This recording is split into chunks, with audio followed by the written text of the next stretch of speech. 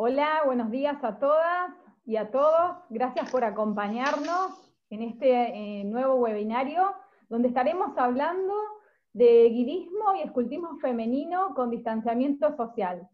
Era impensable que hace unos meses atrás, cuando nos empezamos a conectar y a empezar a vivir una nueva virtualidad en nuestras vidas, y lanzamos la propuesta de pensar unas en, las otras a través de la luz del guirismo, eh, sin pensar cuánto tiempo nos iba a llevar esta virtualidad, estemos hablando hoy del regreso, de, volver a vernos y comenzar a disfrutar y tener eh, nuestras actividades guías de manera presencial, obviamente con algún tipo de protocolo, y reglas para que nuestro movimiento siga siendo el lugar seguro que nuestras niñas, nuestros niños y nuestros jóvenes eh, quieran seguir disfrutando y merezcan. Así que les agradezco a todas y a todos que estén acompañándonos en este nuevo webinario. Es el último webinario de esta serie de webinarios, luego la región estará presentando otra serie de webinarios a partir del mes de septiembre y algunos sábados de octubre que esperamos que también nos acompañen. Eh, quiero agradecer infinitamente el trabajo de todo el comité y de las voluntarias que nos están acompañando hoy en esta sesión este, y, y al equipo de intérpretes que siempre nos están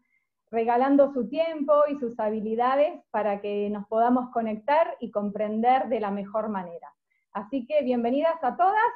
Vamos a esperar un ratito más a ver si se conecta alguien más. Les quiero comentar que vamos a estar transmitiendo esta sesión por el vivo de Facebook. Eh, luego la sesión quedará grabada y la podrán compartir con aquellas voluntarias, dirigentes y guiadoras de sus grupos que no se han podido unir hoy. Así que gracias a todas y todos. Eh, les voy a ir comentando un poco cómo va a ser esta sesión mientras esperamos que se, unan más personas. Bueno, como les contaba, vamos a compartir hoy este, una sesión con eh, dos OMs de la región de Europa que van a estar entregándonos su experiencia este, para lo que se nos viene a nosotros. Es como que vamos a viajar al futuro de lo que les está pasando a ellos y cómo lo están viviendo ellos, este, que esperemos que nosotros también vayamos por el mismo camino. Nos acompañan hoy dos voluntarias regionales que las voy a presentar en un ratito, Candela y María José, y gracias por estar con nosotras. Les voy a comentar que durante esta sesión eh, el micrófono de todas las participantes debe estar silenciado para que todas podamos escuchar bien a los panelistas y a las moderadoras. Les vamos a solicitar que las preguntas las desarrollen a través del chat. En el chat, Barbie, que es nuestra intérprete de voluntaria, que es de la Asociación de Guías Scout de Chile, ella va a estar compartiendo un formulario en el chat donde cada una de ustedes, si quieren hacer alguna pregunta, tienen que hacer clic en ese formulario y van a dejar su pregunta ahí, en el idioma que ustedes eh, prefieran. Barbie lo va a traducir y al final de esta sesión vamos a leer todas las preguntas y los panelistas van a estar listos para desarrollar sus respuestas. Em, vamos a estar compartiendo el link en el chat. Bueno, eh, esta sesión también cuenta con eh, traducción simultánea, como recién les comentaba. Ustedes tienen el, control en su computadora o en su móvil, donde les va a salir un cartelito que dice elegir, elegir interpretación, y ustedes pueden elegir la interpretación que más deseen, en inglés o en español. Agradecemos a Pi, quien va a ser la, voz que ustedes van a escuchar a través de la interpretación, quienes estén eh, siguiendo esta reunión en inglés. Y eh, les quiero aclarar que quienes estén eh, siguiéndonos por la página de Facebook, en el vivo, ustedes van a escuchar únicamente el, sonido y, la comunicación que vamos llevando durante la sala de Zoom. No van a poder escuchar la interpretación, pero luego les podemos compartir toda la presentación para que ustedes tengan una idea un poco más acabada de la sesión completa. Em, si ustedes quieren escuchar el audio original, lo único que tienen que dejar es dejar el audio, el audio original y van a escuchar a Pi, que es la traductora, y de fondo van a escuchar a la persona que está hablando y que está presentando. Bueno, como les adelantaba recién, eh, tenemos dos invitadas especiales, que son nuestras moderadoras del día de la fecha, eh, Candela González, que es vicepresidenta de la Asociación Guías Argentina. Este, ella nos va a estar ayudando a moderar esta sesión. Y también eh, vamos a estar compartiendo esta sesión con María José eh, Gallardo Pérez de Chile, que es voluntaria de WAX también. Ella trabaja con niños, niñas allí y jóvenes allí en su asociación y bueno, les voy a dar la palabra a ellas para que se presenten ustedes, que van a ser quienes nos van a estar llevando esta conversación y nos van a estar llevando de la mano eh, para conocer un poco qué es lo que está ocurriendo en la región Europa eh, con la propuesta nuestra del guidismo. Eh, gracias chicas,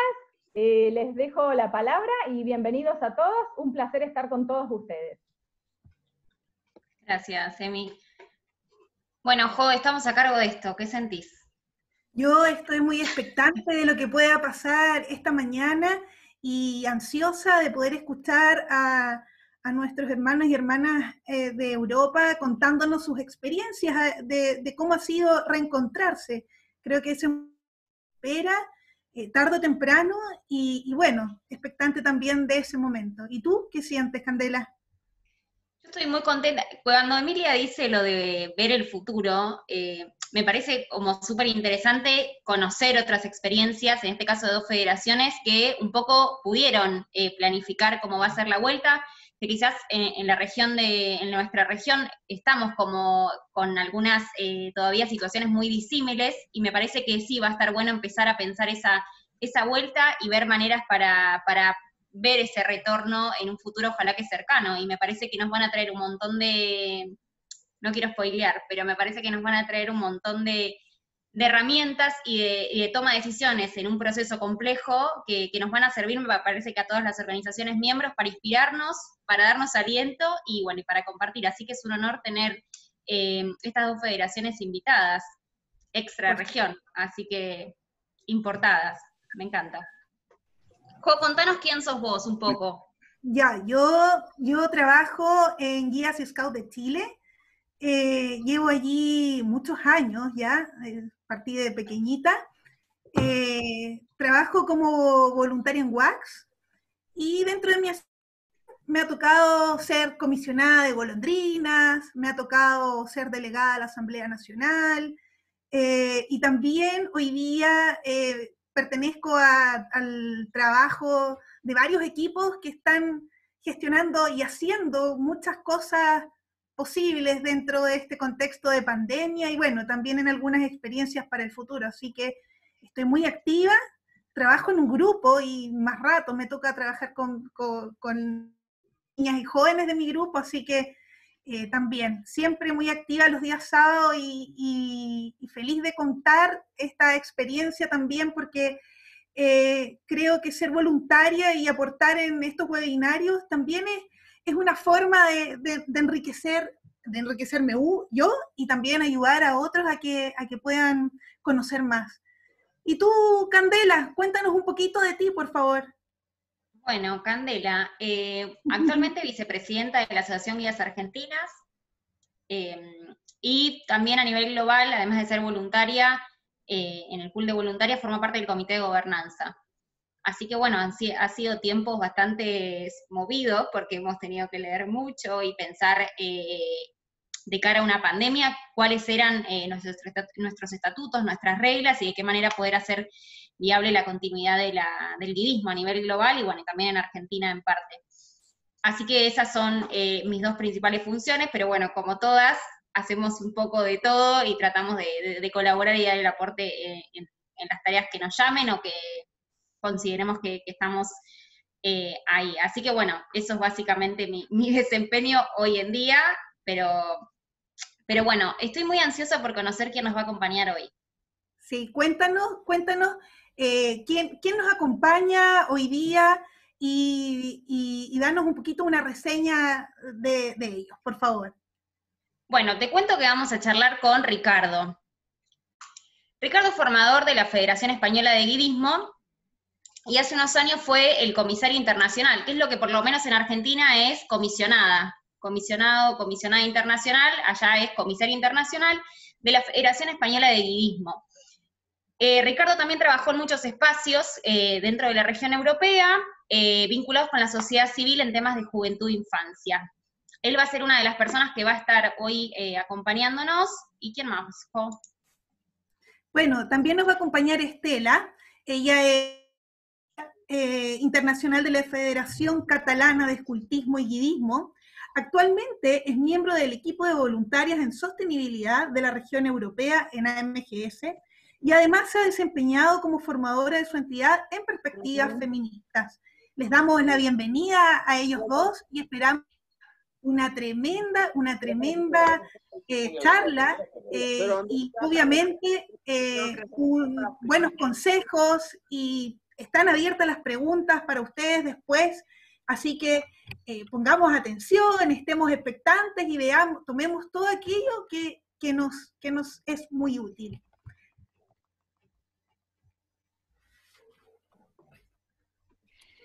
Hola a todas, eh, muchísimas gracias por, la presentación de parte de Ricardo y de, de, mi parte. Estamos muy contentas de poder compartir con, vosotras este, este ratito. Em, nuestra, nuestra intención era poder explicaros un poco cómo se ha desarrollado en España la situación de pandemia mundial, cómo llegó al Estado qué situación hemos visto dentro del guidismo y ahora que estamos empezando a encontrarnos presencialmente, con qué restricciones y qué normativas estamos teniendo y qué soluciones hemos encontrado, aunque sean temporales. Eh, a nivel de aclaración, queríamos explicar un poco cómo se organiza el guidismo en España, porque a nivel de la presencia en AMGS somos dos federaciones, por razones históricas nos hemos relacionado como dos federaciones separadas, la Federación Española y la Federación Catalana, aunque somos parte del mismo Estado, y como la realidad del Estado es que gran parte de la legislación pasa por los territorios y no por el gobierno central, también nos hemos encontrado que las formas de hacer guidismo y de volver a la presencialidad en estos tiempos han sido territoriales y no, y no estatales. A nivel de breve presentación, la Federación Española tiene unos mil miembros y es solo miembro de WACS, aunque admiten chicos también. Y la Federación Catalana somos miembros de WOSOM y de WACS y hacemos coeducación. Y somos unos 25.000 miembros, más o menos. Entonces, ahora le paso la palabra a Ricardo, que os explicará un poco cuál es, cuál es el contexto y la perspectiva a nivel estatal y luego volveremos sobre los casos territoriales y un poco ejemplos que tenemos sobre cómo, cómo hemos vuelto.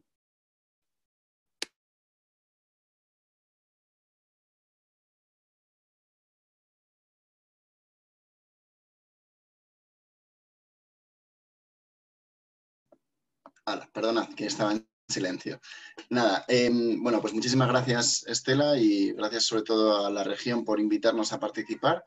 Eh, antes de, nada, quería disculpar que no esté hoy Cristina, que es nuestra comisaria internacional, que por motivos laborales no nos puede acompañar, así que yo encantado de, echar una mano y contaros un poco la experiencia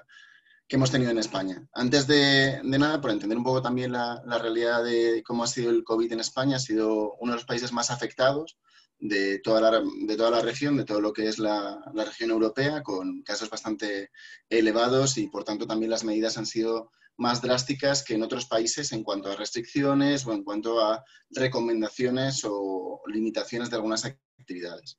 A nivel histórico, por tener un poco el contexto, la, cuestión ha ido evolucionando y ha ido cambiando eh, según el momento en el tiempo y también el territorio en el que nos estábamos moviendo. Eh, como comentaba Estela, hay una diferencia territorial importante a nivel competencial y a nivel histórico es importante tener en cuenta que en primer lugar la pandemia, eh, pues durante los primeros meses de enero y febrero, cuando recibíamos noticias sobre esta enfermedad y sus efectos, no se tomaron grandes medidas de ningún tipo, más allá de,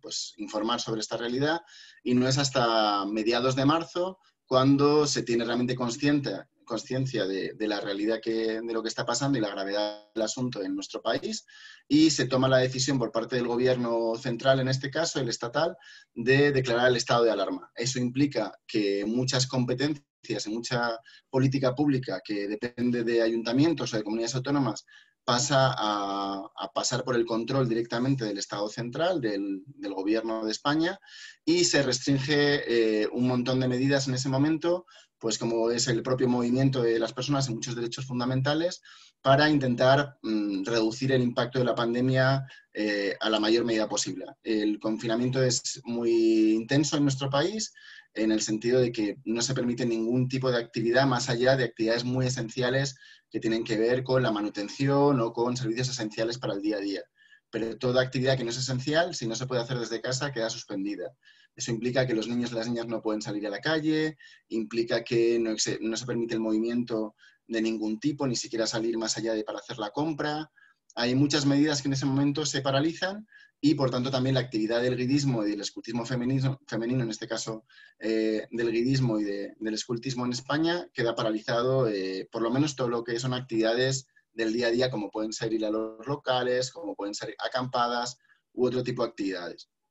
Cuando vamos viendo que la, cuarentena que no sabíamos cuándo iba a terminar, pues empieza a ser algo más que puntual, se empieza a extender, de hecho duró hasta el mes de mayo, pues sobre todo, bueno, pues la, actividad sigue muy paralizada, eh, se permite en algún momento del mes de mayo alguna salida puntual a un kilómetro alrededor del domicilio, se empieza a tomar alguna medida, pero son muy, muy pequeñas. En ese momento, pues algunos grupos o algunas actividades se llevan a cabo a nivel de, de Internet, de reuniones virtuales, a través de Zoom, como estamos haciendo ahora, u otro tipo de actividades, pero no mucho más. Es cierto que se toman algunas medidas que ahora veremos y luego es importante entender las otras dos fases que hemos vivido. Una es la desescalada, que no me extenderé mucho porque es un poco compleja porque ha habido distintas fases que han ido cambiando, pero por así decirlo es el periodo a partir de mediados de mayo hasta finales casi de junio, en el cual poco a poco se va recuperando eh, la actividad tanto comercial como las actividades normales y habituales de, la sociedad. ¿no? Poco a poco pues, se puede salir a la calle, se puede reunir la gente en grupos pequeños, eh, se empieza a recuperar un poco la actividad y por tanto también la actividad de los grupos de tiempo libre, aunque con muchas restricciones, hasta que ya llegamos a finales de junio, donde estamos en esa nueva normalidad, que es la nueva realidad que tenemos ahora en nuestro país, eh, que también existen algunas restricciones y que además cambian a nivel territorial, y, pero bueno, poco a poco eh, nos vamos adaptando a vivir con, con, esta pandemia, ¿no? Y como veréis en el gráfico, además estamos volviendo a tener muchos casos, eh, muchos rebrotes y es probable que los próximos meses se tomen más medidas eh, restrictivas, no sé si tan duras como en la cuarentena, pero y el confinamiento probablemente haya más restricciones que, hemos ido viendo en las últimas semanas a las cuales nos vamos adaptando. para entender también la realidad de España, a ver si puedo pasar la página, sí. Eh, es importante también entender cómo funcionamos. Eh, España, como decía Estela, tiene una gestión muy descentralizada. En España, a día de hoy, hay 17 comunidades autónomas y dos ciudades autónomas. Y eh, en estas comunidades autónomas, muchas competencias, tanto la gestión en casi todas ellas y además la legislación en muchas de ellas, es competencia de la propia comunidad autónoma, de autónoma o, de esa región, por así decirlo, que eh, legisla y adapta a la realidad de su territorio pues la normativa. A nivel estatal se establecen algunas leyes fundamentales que marcan, por así decirlo, el marco general, pero es en la comunidad autónoma donde se toman las decisiones y al final eh, se regula la, realidad del territorio. Eh, esto es importante para entender cuando hablemos de las medidas, porque es cierto que en estado de alarma el Estado ha tomado más competencias que las que tiene habitualmente, por lo menos a nivel de tomar decisiones, pero eh, aún así la gestión ha sido autonómica y luego, como veremos en la desescalada y en la nueva normalidad, vuelve la competencia de educación, de sanidad o del tiempo libre a la comunidad autónoma y, por tanto, la respuesta ha sido muy diferente, ni siquiera parecida en algunos casos, sino que realmente muy, muy diferente. Bueno, y como comentaba, pues bueno, esas tres fases importantes a tener en cuenta para poder entender la realidad que hemos tenido en, en España y las recomendaciones y el nivel también de la legislación y las normativas, ¿no? porque también ha incidido mucho en cómo los grupos guías, eh, las, guías en general, hemos podido ir adaptándonos a, la normativa de cada uno de nuestros territorios. Más allá de eso, eh, como os comentaba, eh, como el Estado no ha tenido prácticamente competencias, eh, más allá del estado de alarma, donde ha quedado todo tremendamente suspendido, no, desde el minuto uno del estado de alarma no se permitía ninguna actividad presencial, lo único que se hizo fue a nivel virtual y fue un poco la creatividad al poder, la, la posibilidad de cada grupo de montar sus actividades y sus reuniones como más o menos podía. Mm, lo que sí que hizo el Estado en el momento que empezó la desescalada es a trasladar alguna serie de recomendaciones que solo tuvieron vigencia durante algunas fases de esa desescalada, pero que han servido de base para muchas comunidades autónomas en su legislación y en su normativa que a día de hoy están aplicando. Eh, sí que es cierto que, algunas medidas sí que se tomaron en, cuenta por parte del Estado que no hemos destacado, que fueron importantes, más que nada no tanto para, para las niñas como para la gestión de las organizaciones. Hubo pues alguna flexibilidad, algunos procesos de subvenciones porque no se podían llevar con normalidad o algunos trámites, así como, por ejemplo, eh, la posibilidad de hacer asambleas virtuales o, eh, legalmente. Eh, antes dependía de los estatutos de cada una de las asociaciones y se permitió excepcionalmente durante el estado de alarma que se pudieran hacer y fueran legales durante ese periodo sin ningún problema, aunque no estuviera contemplado en la normativa de las asociaciones, que esto alguna también alguna entidad lo pudo hacer. Bueno, a nivel estatal, entre las recomendaciones que, se plantearon por parte del Estado, que tuvieron lugar durante la desescalada y que han sido la base de lo que han puesto en marcha luego cada uno de los territorios, pues por un lado el tema de la mascarilla, eh, que debe cubrir la boca, la nariz y la barbilla, como, bien saben. Eh, una mascarilla que inicialmente era una recomendación y que a día de hoy es obligatorio en, todos los, en todo el territorio del, del Estado el llevarla siempre que esté uno fuera de, casa y es una obligación que sigue vigente incluso en la, nueva normalidad. Hay algunas excepciones para el uso de la mascarilla. A día de hoy, eh, pues los menores de 6 años no es obligado, aunque es recomendable. Y hay algunas personas que, pues, porque tienen dificultades respiratorias o porque tienen recomendaciones médicas que dicen que no deberían usarla, eh, a día de hoy no la tienen que utilizar. Antes, en su momento, pues fue una recomendación, luego pasó a ser una obligación, excepto para algunas actividades, y ahora ha pasado a ser eh, una obligación en cualquier caso y en cualquier escenario. Otra de las medidas que, recomendó en su momento el Estado y que están en vigor a día de hoy en todas las comunidades autónomas, en todos los territorios, es el distanciamiento social, la medida de intentar mantener en todo momento una distancia de al menos 1,5 metros con cualquier persona cuando nos encontramos en la calle o en cualquier espacio para intentar reducir el riesgo de, contagio de la, pandemia. Y por otro lado, eh, lógicamente, intentar siempre eh, hacer cualquier tipo de actividad, siempre en espacios abiertos, preferiblemente a espacios cerrados, siempre que podamos evitarlo. Más allá de, eso, lógicamente, si cualquier niño o niña o cualquier eh, educador o cualquier persona en general tiene síntomas o, que, puede tener síntomas, no debería participar en ningún tipo de actividad, ya sea de tiempo libre o, habitual, y debería, lógicamente, avisar a su centro médico. Y otra de las cuestiones que también es de obligado cumplimiento, bueno, una recomendación a todo el Estado, pues la importancia de la higiene de manos, eh, como saben, pues eh, mejor jabón y agua y si no es posible, pues un gel hidroalcohólico de una eh, cantidad entre 70 y 90% de alcohol y es algo que, bueno, se ha hecho muchísima campaña y mucha pedagogía con la importancia de,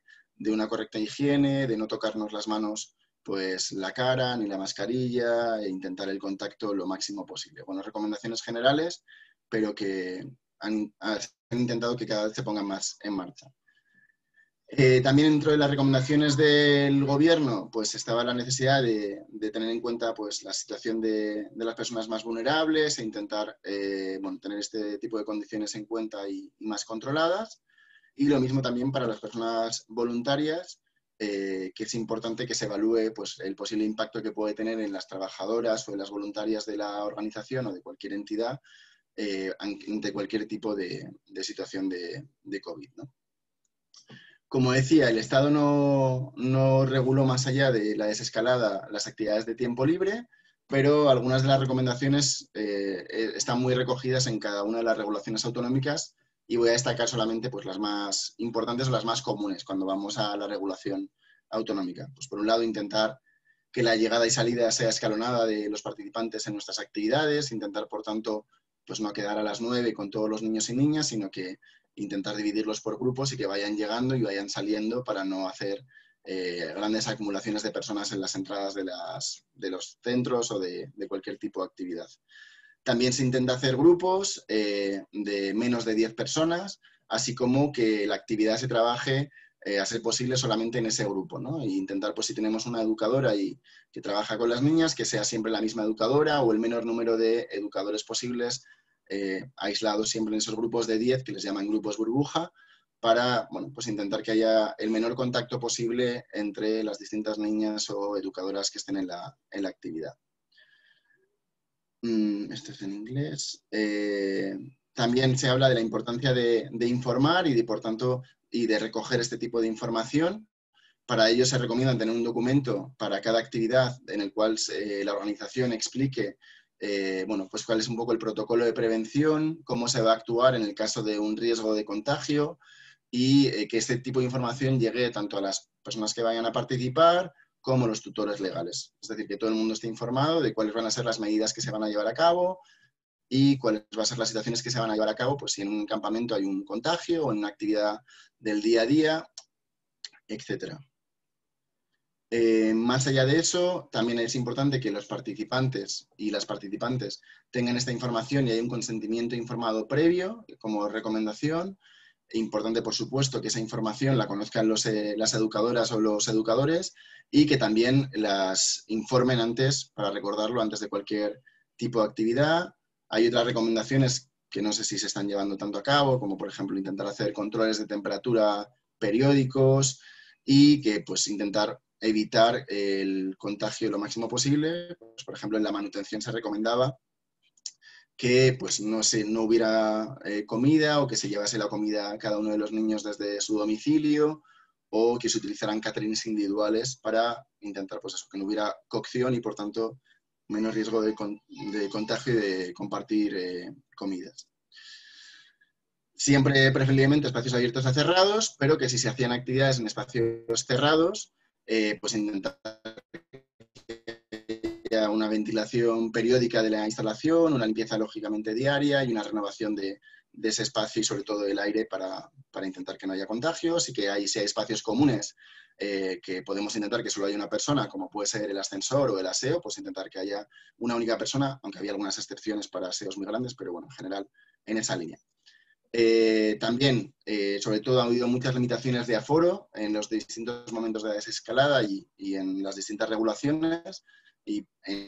por regla general se intentaba que en los espacios cerrados no hubiera más de 80 personas y que el espacio nunca estuviera más allá de un tercio de su capacidad a nivel general. Luego ha habido distintas normativas. Eh, la pernocta o el dormir en cualquier actividad, intentar evitarlo y en el caso de que no pueda ser, pues siempre en espacios ocupados al 50% una única persona por cama o por litera. Y en el caso de los comedores, eh, se hablaba de intentar tener tres metros cuadrados de espacio personal para la persona que esté comiendo y, por supuesto, que no comparta comida en ningún caso con ningún otro participante o con ninguna otra persona que esté en la actividad. Y en los espacios del aire libre, por norma general, la recomendación era que no hubiera más de 200 participantes eh, en la misma actividad y el espacio al 50% de la capacidad que permite ese espacio, esos eran los máximos que, se planteaban, como decía, las pernoctas, intentar evitarlas. Eh, en el caso de las tiendas de campaña, una única persona por tienda, salvo que sean personas que convivan juntos, que sean hermanos o hermanas o otro tipo de casuísticas. Y lo mismo en los comedores, pues en este caso, pues 1,5 metros entre persona, unos 3 metros cuadrados de espacio. Estas fueron las recomendaciones generales que planteó el Estado y que tuvieron muy poco tiempo en vigor como mandato y luego fueron ya eh, recomendaciones. En el caso de la realidad práctica, eh, vamos a hablar de tres casos, eh, por donde hay presencia de guías, básicamente, y también pues porque son como los más ejemplares. ¿no? Por un lado, Aragón, que fue de las comunidades autónomas más restrictivas, Madrid, que a lo mejor puede ser de las más laxas, y por último, Cataluña, donde tenemos un conocimiento mucho más exacto porque es donde más presencia de guías hay, que es donde va a explicar Estela con más calma pues, todo el proceso de, del trabajo que se ha hecho allí. ¿no? En el caso de Aragón, como decía, es, la realidad más dura, por así decirlo. Eh, en primer lugar, se prohibieron los campamentos de verano. Eh, como os decía, la desescalada acabó el 23 de junio y durante este verano que tenemos ahora mismo en España no ha habido ningún campamento de verano en este territorio, en Aragón, donde tenemos bastantes guías. Eh, en el caso de actividades al aire libre, porque también se registra, ha habido bastantes dificultades para hacer actividades cerradas, eh, bueno, pues la obligatoriedad de que la inscripción fuera online, por supuesto, la distancia social, un máximo de 50 personas en grupos, además de 10 personas máximo para poder trabajar las actividades, intentar que no haya, se comparta comida ni materiales y se evite en todo posible ese contacto físico.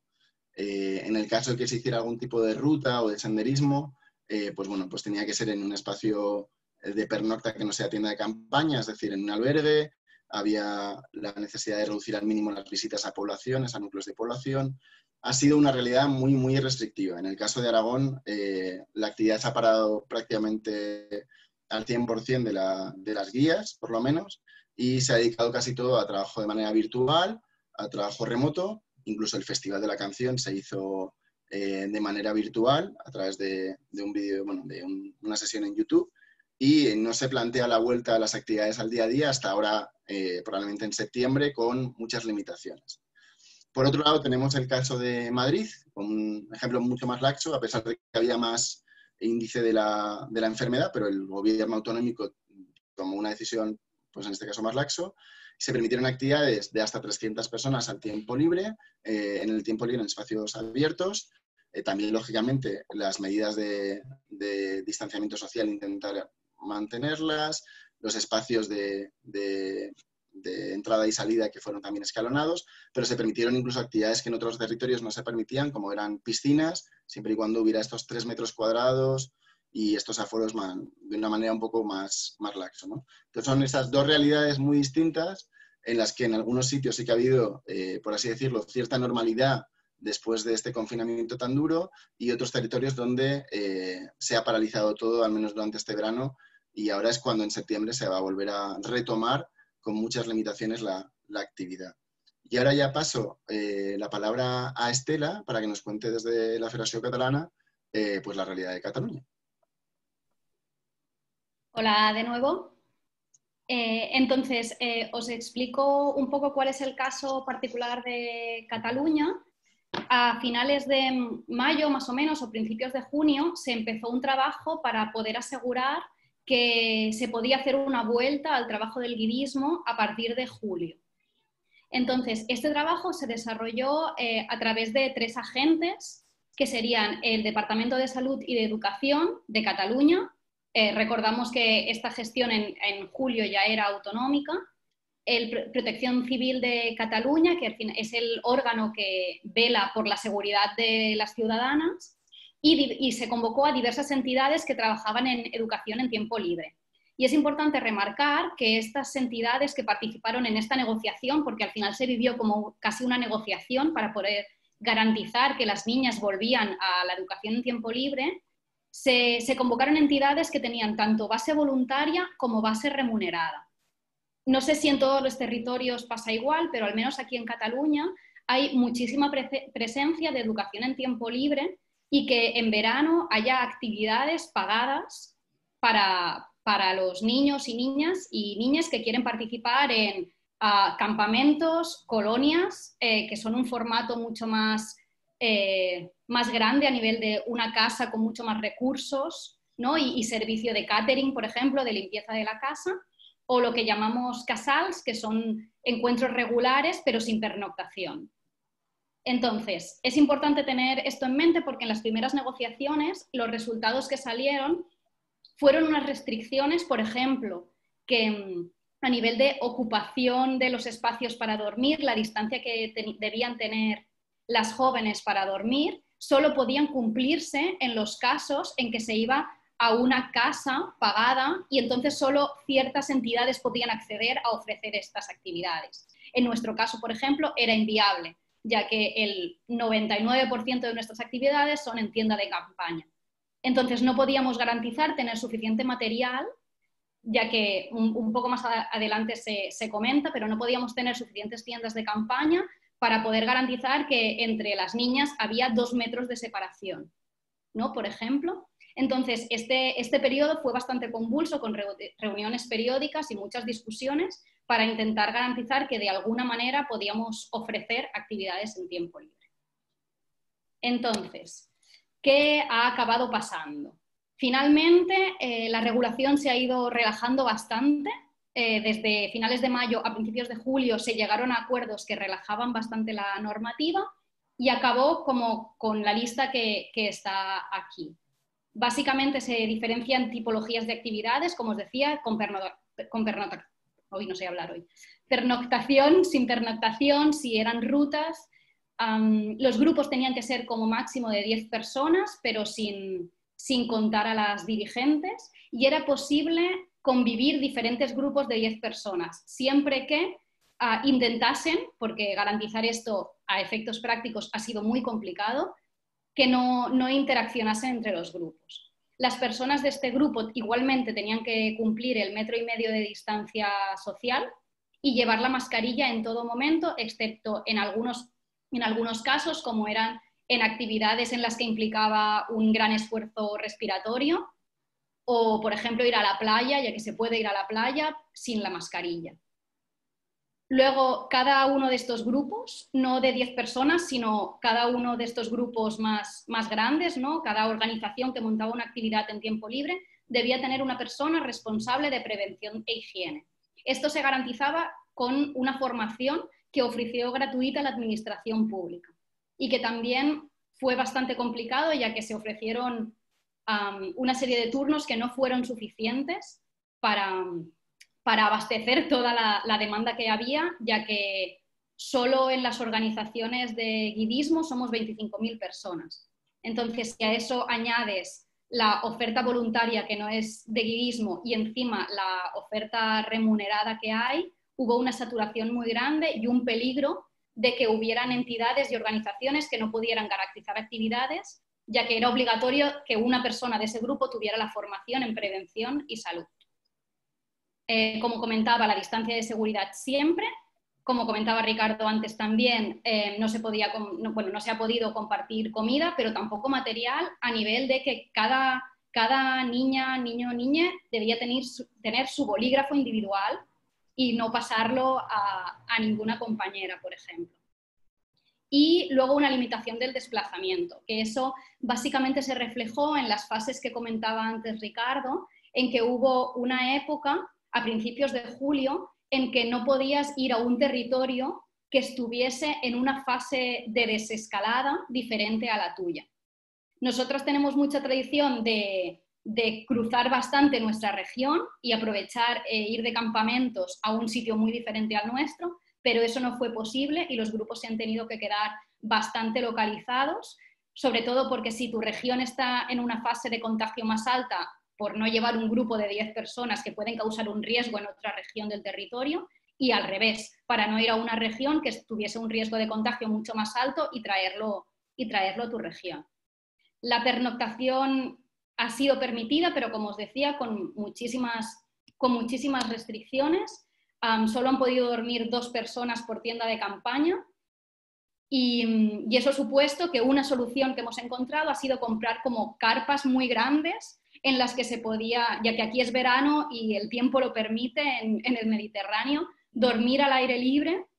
con una separación entre las personas, siempre garantizando que entre cabeza y cabeza había al menos un metro y medio de distancia. Luego volveré al tema de recursos y cómo se han conseguido todos estos recursos excepcionales desde las organizaciones.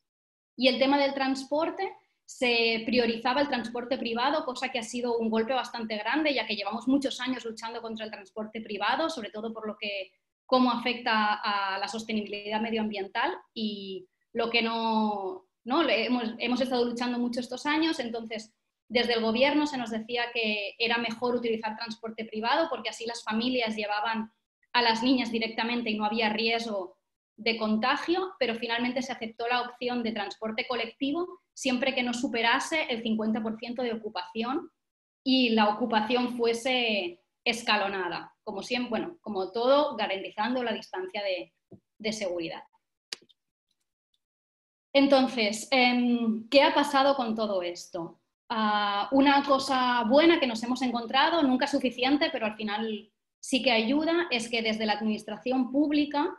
se, han abierto dos líneas de fondos. Una para ayudar a las organizaciones a cubrir todo el material extraordinario que estamos teniendo que comprar, como son estas carpas que os comentaba, mascarillas para asegurar que todas las niñas tuviesen acceso a una mascarilla, gel hidroalcohólico, guantes, todo el material individual que normalmente compartimos, pues ha supuesto un gasto extra. Entonces se ha abierto una línea de ayudas para las organizaciones para poder,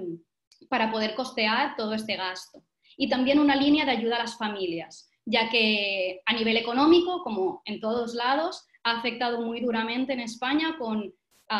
con despidos masivos o bueno, sí, llamémoslo despidos masivos. Entonces, muchas familias se han, visto, se han visto en problemas para poder costear lo que estas actividades implicaban. Así que la Administración ha abierto una línea de ayudas para que las familias puedan enviar a, las niñas a estas actividades.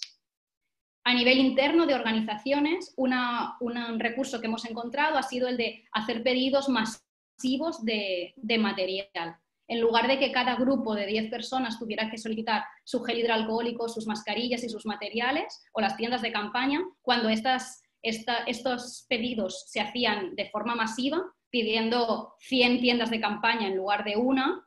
ha sido una forma de, hacer, de hacerlo más barato y luego poder repartirlo entre los grupos. Ha supuesto, evidentemente, mucha más logística para poder luego repartir entre las diferentes regiones pero a nivel económico ha sido, ha sido más fácil.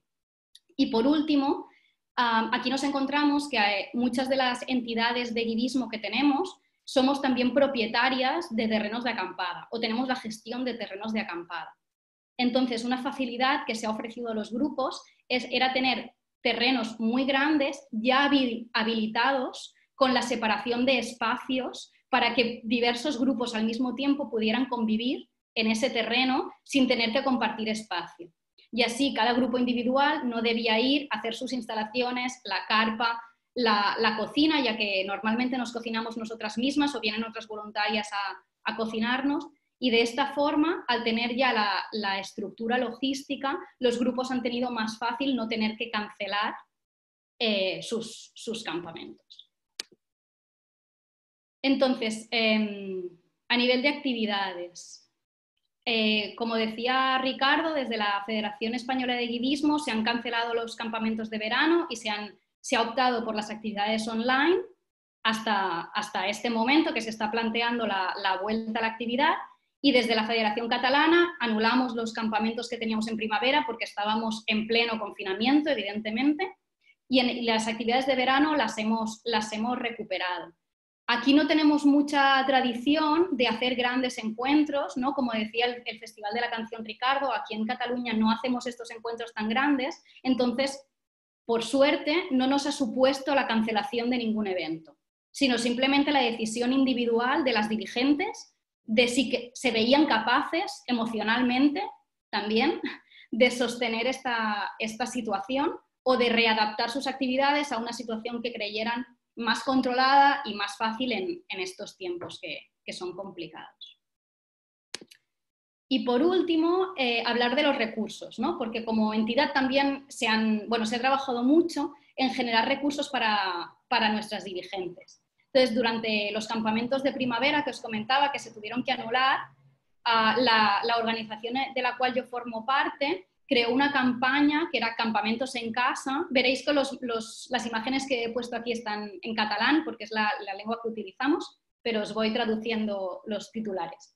En estos campamentos en casa suponía que en redes sociales cada día se proponía una actividad diferente a las niñas que simularan estar de campamentos.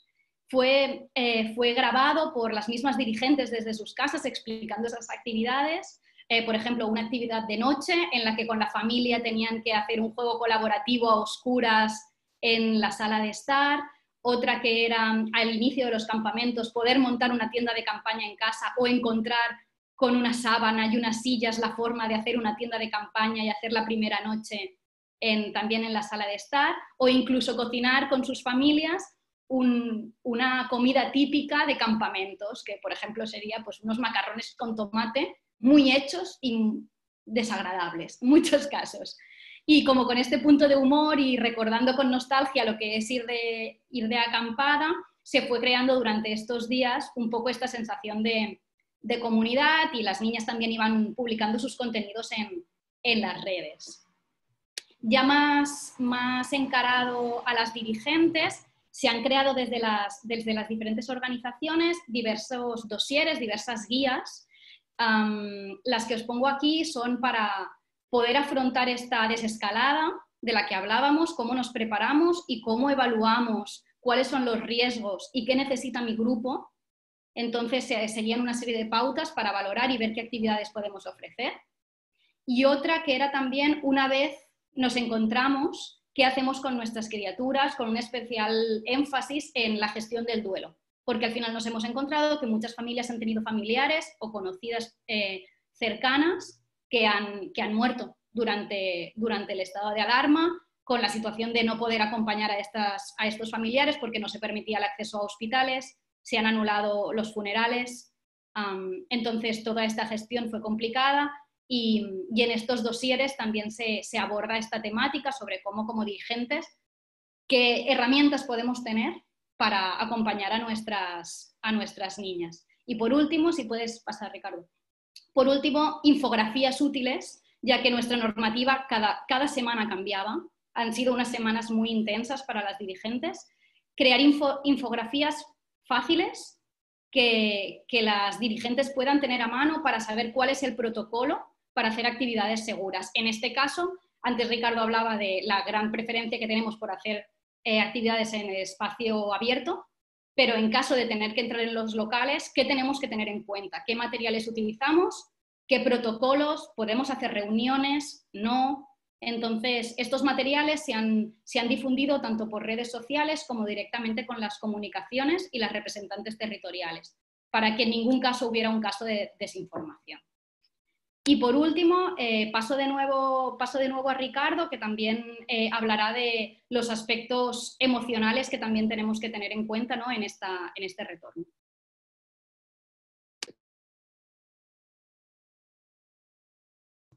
Ya está, perdona. Eh, gracias, Estela. Sí, simplemente un par de reflexiones, más allá de contar la experiencia que hemos tenido en España, que es compleja porque nos hemos ido adaptando a la realidad y de hecho la realidad sigue cambiando. Hoy, por ejemplo, en uno de los territorios donde sí ha habido campamentos, que es Castilla-La Mancha, hoy se han suspendido todos los campamentos que estaban en marcha porque los casos de la enfermedad se han incrementado y eh, han tenido que suspender cualquier campamento. En este caso no hay guías presentes en Castilla-La Mancha eh, y no nos ha afectado como organización, pero, pero, es una realidad a la que hay que estar un poco eh, adaptándose en todo momento, ¿no? como, decía, como decía Estela. Y en esa adaptación es importante también tener en cuenta que es un fenómeno absolutamente nuevo y que nos tocan nuevas responsabilidades como educadoras y como educadores. ¿no? En este caso, eh, algunas reflexiones que hemos intentado abordar en la organización, pero que eh, es complicado, pero que es necesario intentarlo, aunque seamos organizaciones pequeñas, es que muchas veces estos niños y estas niñas van a tener su primer contacto fuera de casa con nosotros y con nosotras. Niños y niñas que muchas veces sufren violencia en su casa que a lo mejor eh, ha sido una violencia eh, donde los agresores eh, se han visto además con mayor impunidad para poder ejercer esa violencia. Además hay más tensión en el hogar por las consecuencias socioeconómicas de la pandemia y hay muchísimos estudios en la materia que nos dicen que, que probablemente la violencia se ha incrementado durante esta época de confinamiento y los niños no han tenido ningún recurso habitual, como puede ser el colegio, como puede ser su centro eh, deportivo, para poder denunciar estas realidades o para que se detecte. Entonces es importante que las educadoras de, guías tengan claro esta realidad, que de la manera posible intentemos informarles y, y, formarles para saber detectar y cómo actuar cuando vemos casos que este niño o esta niña ha podido sufrir algún tipo de abuso o violencia, porque vamos a ser las primeras personas que van a tener, con las que van a poder socializar en muchos casos. Y es importante intentar abordar o tener en cuenta esta perspectiva desde la organización para intentar con, eh, si no sabemos trabajarlo con organizaciones especializadas, intentar que nos informen y formen sobre la materia, que seguro que además en cada país hay gente muy preocupada por esta realidad. Como comentaba Estela también, ¿no? la gestión del duelo y la pérdida, que es un impacto emocional nuevo para muchos niñas y para muchos niños que, habrá que saber gestionar si no lo han podido gestionar en casa o que por lo menos apoyar de alguna manera y saber tener esos recursos y esas habilidades eh, las propias educadoras para saber trabajarlo. O el impacto en la salud mental o en el impacto emocional para muchas niñas y niños, sobre todo aquellos con más dificultades eh, socioeconómicas que han podido a lo mejor vivir un confinamiento más duro porque las condiciones de su casa son más complicadas o tienen menos vida de a la calle o las condiciones de, eh, de, su vivienda son más duras, bueno, por otras razones, es importante intentar de la manera posible adaptarnos a estas nuevas realidades y ser conscientes de que esta realidad existe y que tendremos que formarnos y educarnos en, en todo esto para, para, ser capaces de reaccionar, ¿no? Al igual que mi otro consejo sería, sobre todo, adaptarse muchísimo a, las realidades y ser muy flexibles, porque también las normativas, por lo menos en España, están cambiando constantemente y es necesario que sepamos adecuarnos para intentar que el guidismo siga de la manera que sea, pero que, pero que no, no, se, no se pare. Creo que esto es todo. No sé si Estela quieres añadir algo más. Pues si no, pasaríamos a la ronda de preguntas que nos queráis lanzar. Bueno, Ricardo, Estela. Estela, no sé si querés agregar algo. Bueno, muchísimas gracias. La verdad que, escucharlos eh, es inspirador en el sentido de que me parece que, es un desafío nuevo que tenemos como humanidad y me parece que las características fundamentales en este caso es eso, es la primera vez que el, mundo está azotado por una pandemia global que impactó eh, a gran escala y en diferente medida a, todo el mundo y como, como organizaciones, como países, como como sociedad en su conjunto tuvimos que afrontar diferentes, eh, desde diferentes dimensiones este problema tan grande que fue la falta de empleo, la crisis socioeconómica, transitar, como explicaron bien, el duelo, y cómo nosotros como dirigentes, como, como voluntarias de la asociación, tenemos esas herramientas para, lidiar con esto, y me parece que, ustedes rescataron algunos puntos eh, bastante importantes, y fundamentalmente lo que me llama, eh, lo que me llama la atención es cómo manejamos esa impredecibilidad que tenemos, porque como explicabas vos, en un área estaban planificados los campamentos, ahora tuvimos que, dar marcha para atrás porque la situación epidemiológica cambió, y me parece que como guías eh, tenemos como esta capacidad, tuvimos esta capacidad de reacción de decir, bueno, el guismo tiene que continuar y tenemos que seguir brindándoles ese espacio seguro y ese espacio de contención a nuestras guías, que son de las cuales seguimos siendo referentes eh, eh, importantes, porque muchas están confinadas con adultos que ejercen sobre ellas violencia, porque esta situación de confinamiento generó situaciones de un estrés muy elevado en niñas, eh, porque sufrieron eh, y hay, están existiendo casos de depresión en, edades muy chicas, como hablábamos con Ricardo hoy más temprano, y me parece como importante resaltar esto que, ustedes pudieron hacer. Y por ahí tengo una pregunta muy chica antes de, pasar a la, a la ronda general, que es, si hicieron para, eh, para dirigentes, eh, en este caso, capacitaciones puntuales o webinarios para darle por ahí a dirigentes que vienen de diferentes antecedentes o que mismo también se vieron fuertemente afectados por la pandemia de pérdidas de un familiar, de pérdida de, de los ingresos, pérdida del empleo o tener que amoldarse a una nueva realidad, si tuvieron capacitaciones puntuales a nivel nacional o a nivel de federación o a nivel local como para darle a los dirigentes estas herramientas puntuales a la hora de tener que estar frente a un grupo de niñas y decir, bueno, esto es lo que está pasando o, cómo lo hicieron.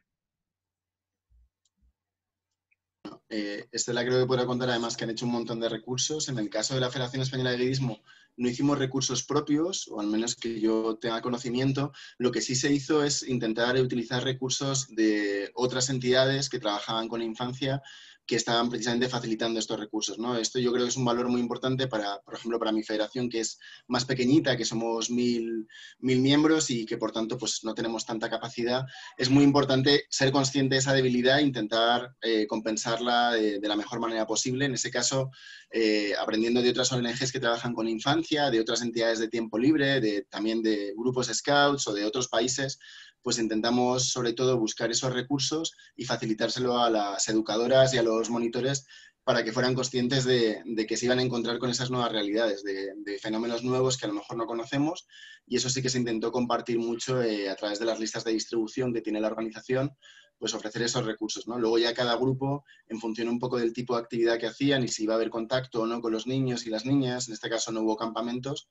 pues ahí sí que estuvieron pues adaptando esos recursos tanto nuevas ideas para trabajar desde casa, por ejemplo, como efectivamente fenómenos totalmente nuevos como esa gestión emocional o esa realidad en el impacto de la salud mental o incluso la violencia. ¿no? Y, estoy Sé que ahora están planteando de cara a septiembre que va a haber más presencia física con los niños y las niñas, precisamente adaptar todo ese conocimiento a nuestra realidad con formaciones específicas.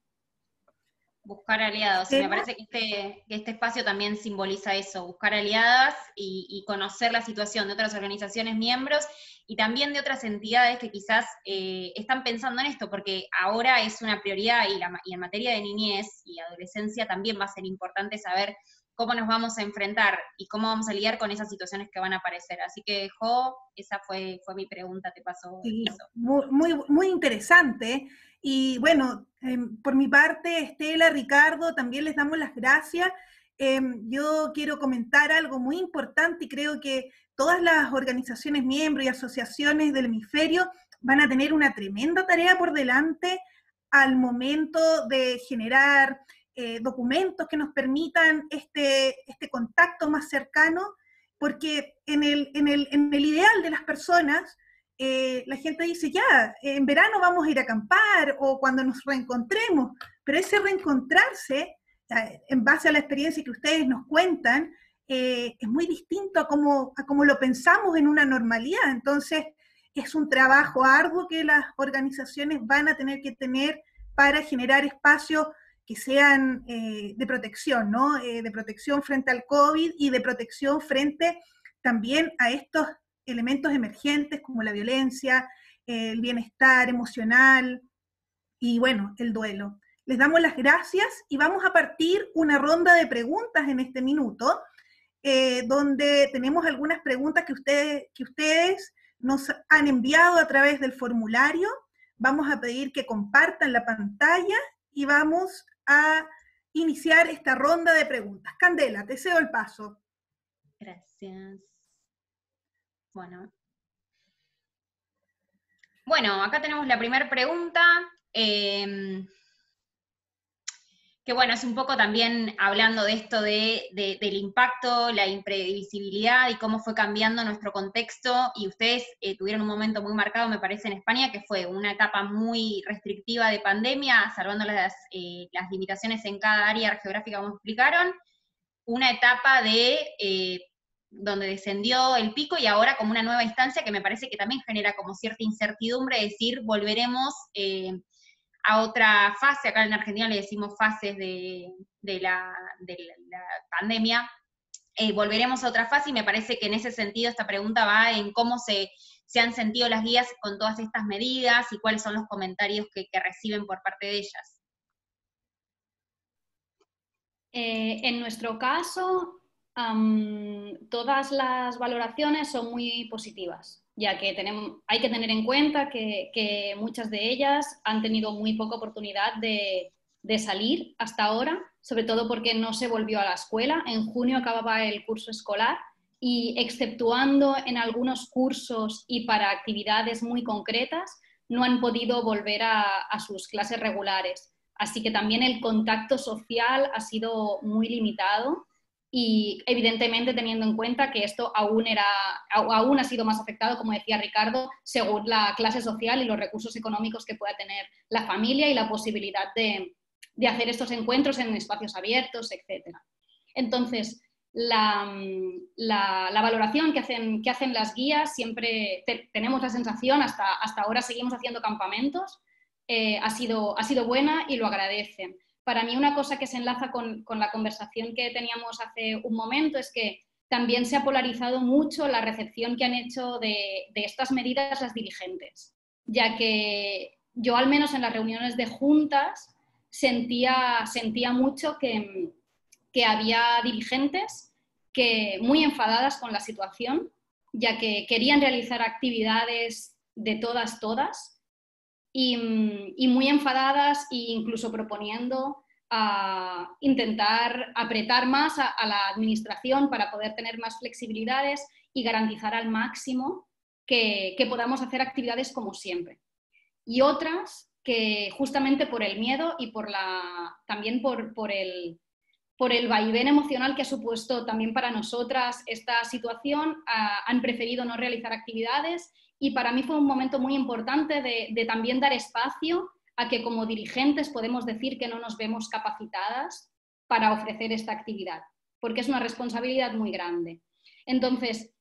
nosotras no tuvimos la oportunidad de hacer ninguna formación específica porque nos pilló en unas semanas muy, muy justas y que teníamos que decidir de un momento para el otro si realizamos actividades y creo que en este sentido a ustedes les hará mucho más útil poder tener esta perspectiva más a largo plazo y poder trabajar mucho más las herramientas que no tener que decidir de una semana para la otra si hacen actividades. Entonces creo que estas dos realidades es, es necesario contemplarlas juntas para no, al, menos a mí me daba un poco de miedo caer en el discurso de las niñas tienen el derecho a hacer actividades, que evidentemente lo tienen, pero también tenemos que tener en cuenta las dirigentes y cuidarlas emocionalmente para que no sientan que depende de ella la salud de un Estado entero. Sí, yo simplemente por añadir, eh, diría que también en el caso, por ejemplo, de, Aragón, donde finalmente no se permitieron los campamentos, teníamos tanto dirigentes que querían como no querían eh, y tenían miedos y no tenían miedos y querían que hubiera campamentos, pero también había una gran incertidumbre a si vendrían muchos niños y niñas o probablemente a lo mejor los campamentos no, no estarían con tanta gente porque había mucha inseguridad por parte de los padres y las madres eh, de saber si mandarían a los niños y las niñas, había muchos riesgos, en este caso no, no tuvieron que tomar ninguna decisión porque no se permitieron los campamentos de verano pero es una cuestión que yo creo que hay que saber trabajar, que vivimos en una realidad con muchísimas incertidumbres y hay que intentar rebajar las expectativas, ¿no? Intentar también entender eh, esa gestión de la frustración que puede haber de, gente que lleva todo el año esperando ese campamento de verano o esa actividad puntual y también, bueno, pues plantear que si no sale, no sale y que se intentará sobre todo generar otro tipo de acciones en el caso de que no se puedan hacer porque, porque va a pasar. Muchas gracias, chicos. Creo que tenemos a favor algo acá en el hemisferio occidental, el tiempo, y eso eh, nos va a ayudar mucho para eh, poder hacer un, retorno resguardado y seguro. Vamos con una segunda pregunta que tenemos también de la audiencia y vamos a leerla. Dice, ¿los padres o tutores firmaron alguna responsiva para liberar eh, a las voluntarias de responsabilidad por posibles contagios. Esta pregunta está muy ligada a lo que ustedes nos mencionaban, esa responsabilidad de, en el fondo, estar atentas, atentos de la salud de, un Estado, en este caso mencionaban ustedes. Eh, ¿Cómo es esa relación entre padres y, eh, y grupos? Cuéntenos un poquito, por favor. En nuestro caso, no, hubo un documento en este sentido, sino que iba más bien en el sentido contrario. Las familias debían firmar un documento asegurando que la niña estaba, no tenía síntomas, tenía todas las vacunas al día, aunque esto era solo una recomendación, no era obligatorio, y una serie de circunstancias que garantizaban que la, que la niña estaba en condiciones de participar en una actividad social. Entonces, lo que sí se hizo pedagogía con las familias fue en el sentido de saber que enviar a la niña al campamento o a la actividad es un riesgo, pero como es un riesgo ir al supermercado. Es decir, nosotras tomaremos todas las precauciones que podamos, pero, pero intentando no responsabilizar a la dirigente en, en, última instancia, ya que vamos a hacer nuestro trabajo lo mejor que sabemos y con el máximo amor que le, que le ponemos a la tarea. Entonces, en este sentido, nosotras no hemos experimentado una bajada de las inscripciones a las actividades, así que creemos que esta relación se ha, bueno, se ha desarrollado bien. Bueno, tenemos algunas preguntas más.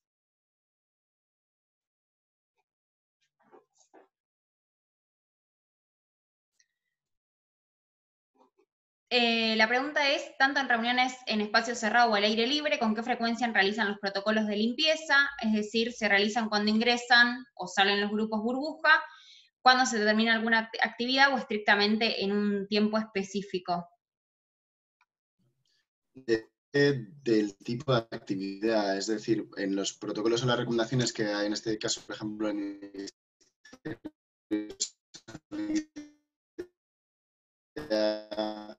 ha trasladado y que cada vez hay ciertas cuestiones que van cambiando, ¿no? Es decir, por ejemplo, eh, aseos o espacios cerrados más pequeños como ascensores o salas deberían ir a salida de haber una lavada manos y higiene de,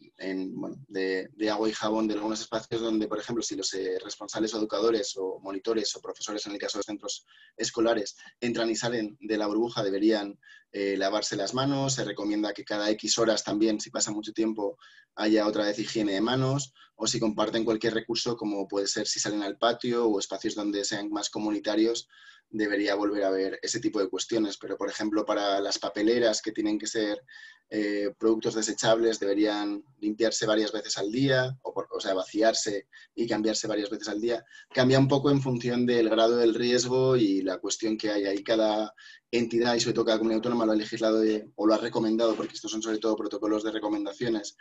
que cada entidad un poco adaptado a su realidad, pero lo importante es que quede muy claro para todos los dirigentes y las dirigentes cuáles son las normas, cuál es la periodicidad, cada cuánto se debe hacer y que esté todo muy bien protocolarizado para que no haya dudas y que todos tengamos claras las, las normas. ¿no? ¿Cuántas cosas pequeñitas son las que tenemos que hacer, pero a la larga nos van a ir dando eh, la seguridad, ¿cierto?, de poder reencontrarnos. Eh, vamos con otra pregunta que tenemos también de la audiencia y dice, de la experiencia adquirida, ¿qué aciertos y en sus evaluaciones han tenido?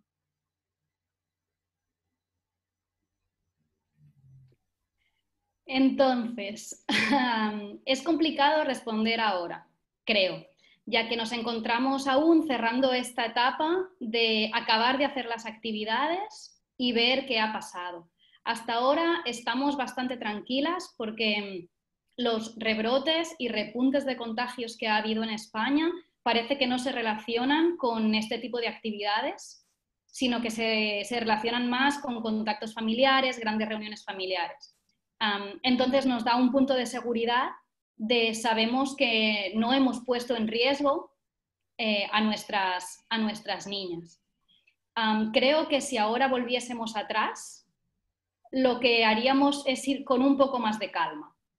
y no intentar tomar decisiones cada semana, sino dejar que pase un poco más el tiempo y ver cómo evoluciona. Porque, como decía antes, cada semana la situación cambiaba y esto ha supuesto un desgaste de energía muy grande, no solo para dirigentes, pero también para, para las personas que están en la gobernanza de nuestras entidades, que al final son las responsables legales de las actividades que realizamos y, tener esta responsabilidad también es muy grande. Entonces, creo que en este proceso hemos aprendido también a, o deberíamos haber sabido a cuidarnos un poco más como personas y, reconocer errores, que creo que a veces nos ha faltado reconocer que hemos cometido pequeños errores. Pero, pero creo que en estos momentos hablar de grandes aciertos o grandes errores es pronto aún,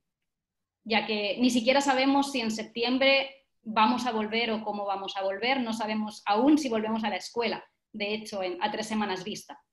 Entonces, es complicado saber qué haríamos diferente.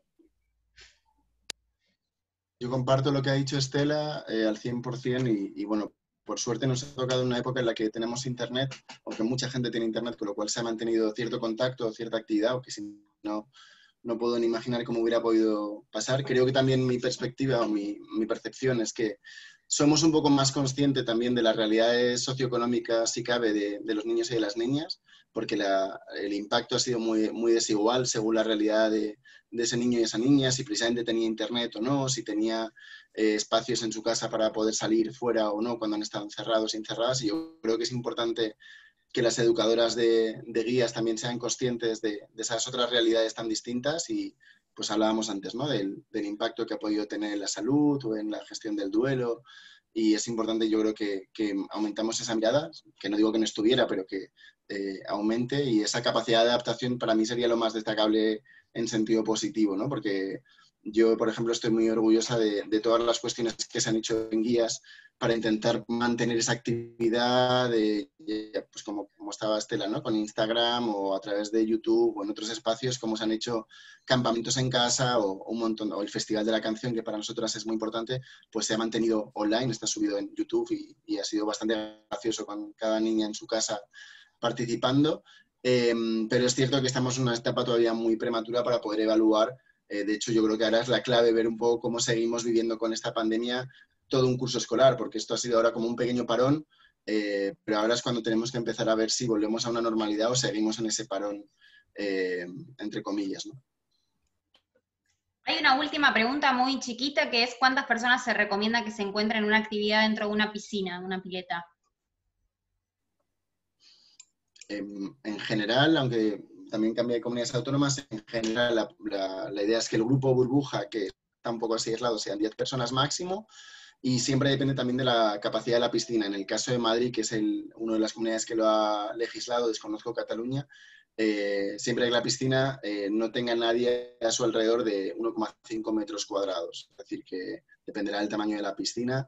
Eh, y lo que se ha hecho normalmente, independientemente de guías, es también reducir aforo. Del grado del contagio de la enfermedad. Pues, por ejemplo, en Aragón, donde estoy ahora mismo, se han reducido los aforos de las piscinas, ahora mismo están en el 30%. Entonces, la capacidad que tenga la piscina, el máximo 30%. En otros espacios ha sido 50, otros 60, va cambiando dependiendo de la normativa y cómo se ha ido regulando. Bueno, Ricardo, bueno, Estela, muchísimas gracias. Creo que, fue inspirador, que nos, que nos invita a seguir pensando y a seguir viendo cuáles son los desafíos que vamos a tener como, como región y como, bueno, como organización y como humanidad en nuestro conjunto. Me parece que esto también nos llama a estar más listas que siempre y bueno, me parece que, hemos estado a la altura de las circunstancias y bueno, todavía nos queda una, etapa más que espero que nos siga encontrando juntas y unidas, que así somos más fuertes. Así que bueno, muchas gracias. Jo, ¿algo más? Sí, darles las gracias por, estas charlas. La verdad es que nos hacen ver eh, lo que se nos viene a nosotros, un poco con el, fin de las actividades, eh, a lo mejor en gran parte de las organizaciones eh, las temporadas más cálidas, entonces un poco ir planeando esto con tiempo. Creo que uno de los, uno de los, de las cosas que sacamos en limpio, creo que es hacer estos protocolos y, el reencontrarnos, organizarlo con tiempo. Muchas gracias, muchas gracias Ricardo, muchas gracias Estela, y de verdad, eh, el, hemisferio los espera en una futura, en un futuro y bueno, sigan contándonos de sus experiencias y de lo que están haciendo. Muchas gracias, Cande, eh, Cande gracias también por compartir este, esta moderación. Y bueno, María Emilia, te damos el pase a ti. Muchas gracias. Bien, Gracias. de verdad, qué inspirador, eh, qué buena, qué, bueno haber compartido este momento con ustedes. Eh, quiero agradecerles a todos y a todas por esta, este momentito, este rato que nos hemos conectado. No dejar de agradecer a quien coordinó todo este webinario, eh, que está en este momento acompañándonos. Stephanie es parte de nuestro de nuestro comité y ella fue quien nos convocó a cada uno de nosotros eh, para moderar, para hacer de panelistas y a mí eh, personalmente para presentarlos a todos.